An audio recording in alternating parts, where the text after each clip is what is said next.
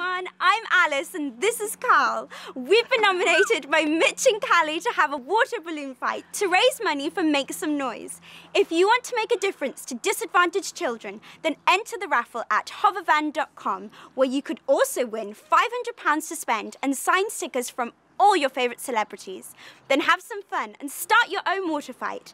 Post it on social media and send it to us at hovervanfun and we'll repost the funniest ones.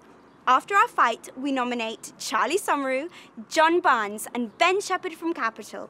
And we would like to see Graham and Sarah from Capital Breakfast go head to head. We've entered the raffle, and so now we're about to get soaked. Okay, ready, kids? Yeah! Three, two, one, go!